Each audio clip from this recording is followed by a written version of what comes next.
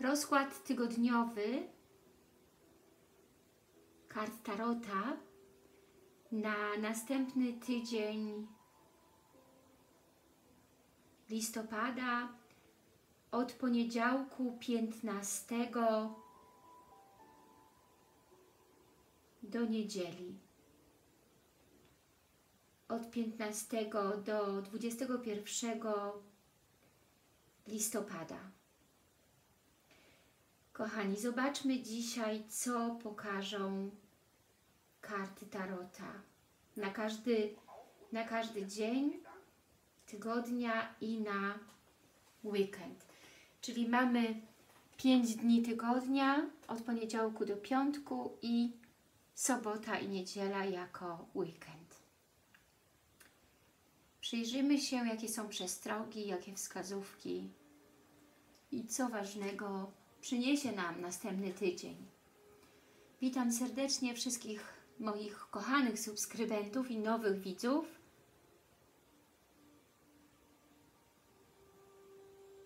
I proszę kochani o nowe subskrypcje, jeśli dzisiaj znaleźliście mój kanał pierwszy raz. Na moim kanale Orakel Miłości u Loeli znajdą Państwo czytania na różne tematy, szczególnie na tematy te najtrudniejsze, czyli miłosne. Również horoskopy, rytuały różne inne przepowiednie, tak jak na przykład przepowiednie tygodniowe lub kart anielskich znajdą Państwo na moim kanale. Zapraszam również wszystkich kochanych Państwa do komentowania moich filmików. Piszcie swoje historie i piszcie, czy moje wróżby rezonują z Państwem. Proszę również o lajka z kciukiem w górę. Na wróżby indywidualne zapraszam Państwa wszystkich poprzez kontakt ze mną e-mailowy. Mój adres e-mailowy znajdą Państwo pod każdym moim filmikiem, jak również w komentarzach. Napiszcie na e-mail i odpowiem Wam, jakie są warunki wróżby indywidualnych. Mój e-mail to loelia.orakel.gmail.com Teraz przyjrzyjmy się, kochani, co przyniesie nam następny tydzień. W poniedziałek pustelnik. Pustelnik to karta samotnika. Być może w poniedziałek musicie się wycofać, pobyć troszkę sami, by odkryć nową drogę, by odkryć nowe pomysły, nowe projekty, by poszukać rozwiązań na swoje jakieś problemy. Czyli bycie samym jest tutaj zaletą, ponieważ poszukajcie mądrze jakiegoś wyjścia z trudnych sytuacji. Zdystansujcie się do swoich problemów, do swoich różnych spraw. Poniedziałek to jakaś spokojna faza, spokojny dzień, gdzie nie jesteście jakby widoczni lub nie rzucacie się w oko. I tutaj postanówcie, po prostu postarajcie się wszystko opuścić i zastanowić się nad tym nowym. Spróbujcie znaleźć jakieś nowe pomysły.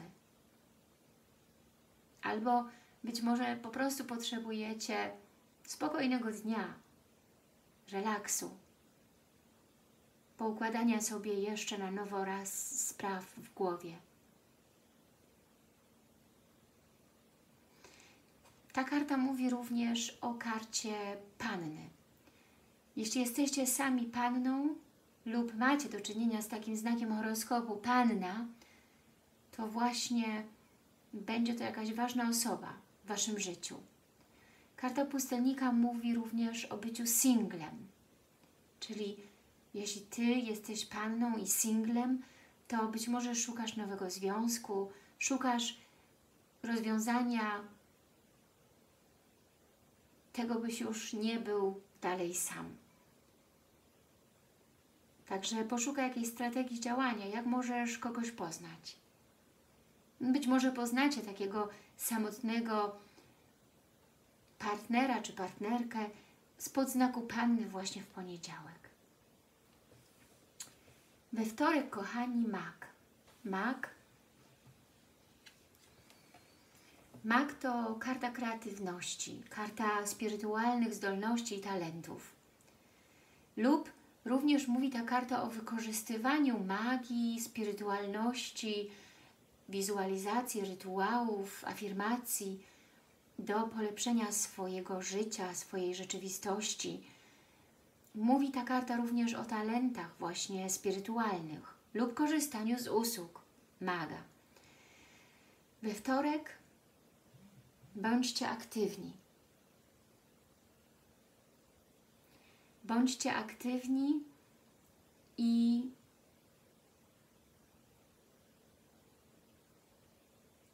spróbujcie za pomocą swoich talentów, zdolności, aktywności rozwiązać swoje problemy lub we wtorek pokażcie swoje talenty, które posiadacie. Nie ukrywajcie ich. Ponieważ mag to charakterystyka właśnie dla osoby bardzo utalentowanej, zdolnej, która umie zaszczycić ludzi wokół siebie swoimi zdolnościami i która lubi swoje talenty, umie również swoje talenty wykorzystać do współpracy z innymi lub do własnej pracy.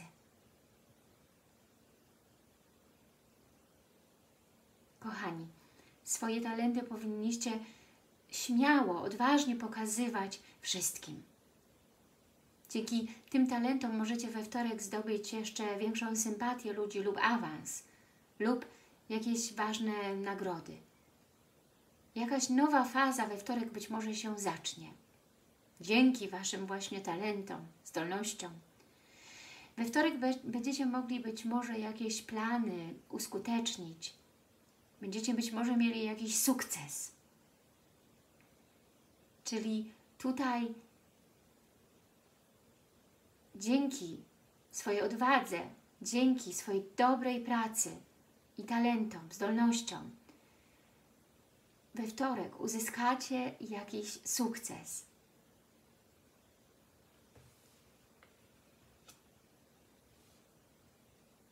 W środę. W środę, kochani, jest jakiś smutek, poczucie straty. Tak jakby po stracie kogoś, kogo kochaliście. Tutaj jakby taki smutek po straconej miłości, po straceniu partnera, byciu samym, rozczarowanie, poczucie właśnie samotności. Także lęki, by kogoś nie stracić na zawsze. Jakieś Wasze bolesne przeżycia, balasty, które sobie tutaj przypominacie. Jakby jesteście smutni po straconej miłości i bardzo cierpicie z tego powodu jakiś, jakaś żałoba, jakieś rozczarowanie, zwątpienie i duchowa rozpacz.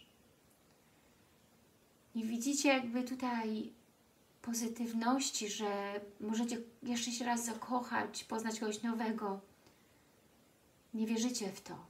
Jesteście pesymistyczni. Pięć kielichów Wspominacie coś, co się zakończyło. Odeszło. Nie widzicie jeszcze tych dwóch kielichów, które tutaj stoją i czekają ewentualnie na jakąś szansę. Nie widzicie tego, że jeszcze możecie przecież coś nowego zbudować. Także środa, jakaś taka rozpacz, sprawy miłosne, które przeszły, zakończyły się, które wspominacie, i tęsknicie. Czwartek macie jakieś dwie możliwości do wyboru. Żonglujecie tutaj, widzicie dwoma monetami, czyli macie jakieś dwie alternatywne możliwości, plany, dwie rzeczy do wyboru i nie możecie się zdecydować. Mm, nie bądźcie jednak w czwartek lekkomyślni. Nie Zostańcie w tym stanie niezdecydowania ciągle, tylko zdobądźcie się na odwagę, by się konkretnie na coś zdecydować. Pomimo, że jesteście otwarci, spontaniczni i tutaj jakby podobają Wam się te dwie alternatywy, dwie możliwości, które posiadacie, natomiast powinniście wybrać którąś z tych ofert. Tutaj w czwartek jest taka lekkość, zabawa, figlarność, spontaniczność. Także ważne również, by podjąć ryzyko i decyzję, by zdecydować się na coś. W piątek. W piątek uważajcie, jest przestroga, żebyście nie zostali oszukani. Ktoś, kto jest kłamcą, złodziejem, oszustem, zdradzicielem, może mieć tutaj miejsce w Waszym życiu. Uwaga, byście nie zostali okradzeni lub oszukani przez kogoś lub byście nie dowiedzieli się o jakiejś zdradzie Waszego partnera, Waszej partnerki. Ktoś, kto z Wami triksuje, kto Was kłamie i komu nie warto ufać, pojawi się w piątek w Waszym życiu. Oczywiście mam nadzieję, że nie Wy będziecie w tej energii tutaj, gdzie zdradzacie, kłamiecie, oszukujecie lub coś komuś kradniecie. Jest to karta negatywna, która mówi o tym, by tej osobie, z którą będziecie mieli do czynienia w piątek, nie ufać, nie wierzyć. Mm, być może w piątek nastąpi jakaś zdrada. Zdrada Waszego partnera lub Wasza i ucieczka przed wyjaśnieniem tej sprawy.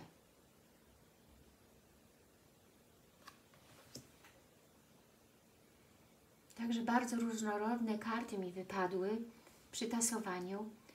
Od potrzeby samotności do kreatywności, pokazania Waszych talentów, sukcesów pracy, być może lub w team, w pracy zespołowej, smutek po straconej miłości, jakieś dwie różne oferty, wybór i uwaga, ostroga, by uważać na kogoś, kto jest nieszczery w stosunku do Was. Zobaczmy, co jest w weekend, kochani. W weekend jest głupiec. Głupiec mówi o nowym początku, zaczęciu wszystkiego od nowa, od zera. Jest to czas radosny, lekki. Cieszycie się na nowy początek. Jest to być może nawet czas podróży, gdzieś się wybierzecie. Jakaś faza w Waszym życiu, gdzie macie radość, gdzie spontaniczni jesteście i jest piękna, lekka atmosfera, gdzie możecie się zabawić, gdzie są niespodzianki.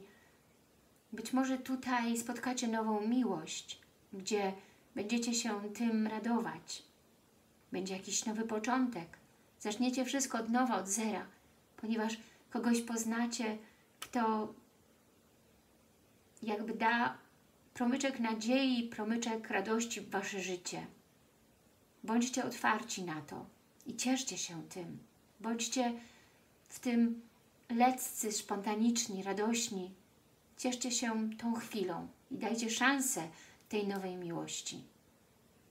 Oczywiście, jeśli macie do czynienia z takim mężczyzną jak głupiec, który jest na tej karcie, który ryzykuje być może jakiegoś flirtu, romansu z Wami, to wiedzcie, że takiej osobie oczywiście nie wolno do końca zaufać, ponieważ ta osoba nie planuje nic poważnego.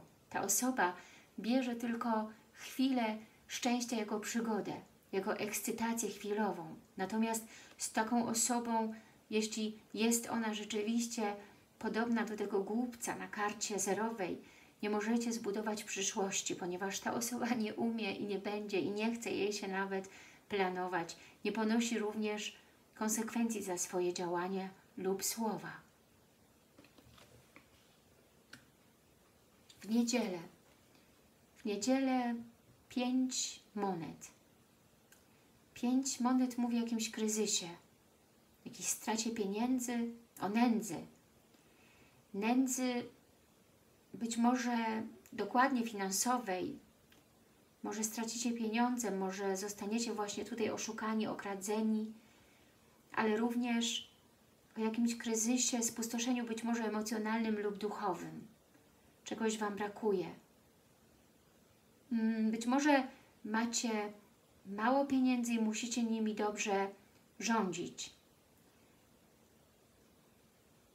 Jest tutaj w życiu Waszym lub w niedzielę właśnie jakaś, jakiś deficyt. Deficyt czegoś. Nie musi być to tylko deficyt finansowy. Deficyt uczuć, miłości, emocji. Czegoś Wam brakuje. Czujecie jakąś pustkę, jakiś, jakiś kryzys. I czujecie się jacyś tacy zubożeni. Być może czujecie się niekochani, porzuceni lub nie czujecie się bezpiecznie.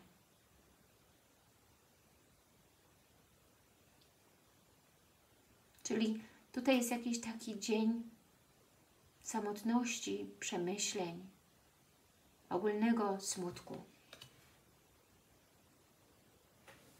Tutaj na tle kart Tarota było również wspominanie czegoś lub kogoś, albo wspominanie dzieciństwa.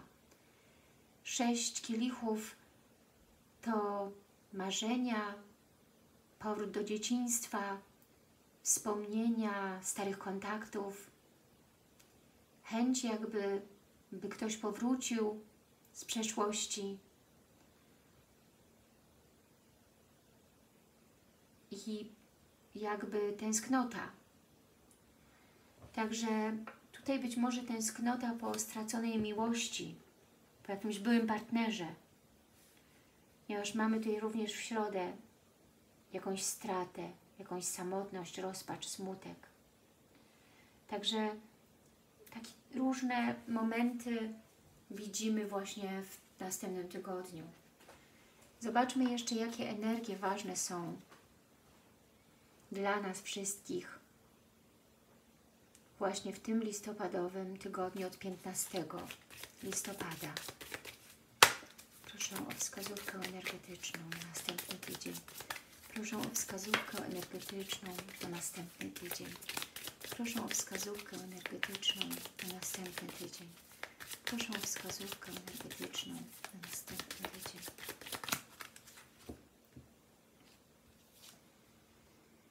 The World, czyli świat.